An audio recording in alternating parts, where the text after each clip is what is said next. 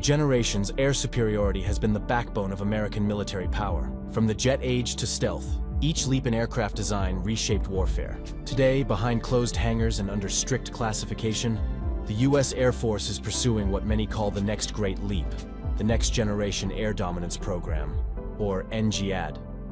More than just a new fighter, NGAD is a system of systems, a manned core fighter working with autonomous wingmen, advanced sensors, adaptive propulsion, cyber and electronic warfare packages, and an AI-driven decision layer. Official spokespeople have been careful with words, but scattered confirmations and controlled leaks have convinced analysts something concrete is taking flight. The question that haunts defense planners and rivals alike is simple.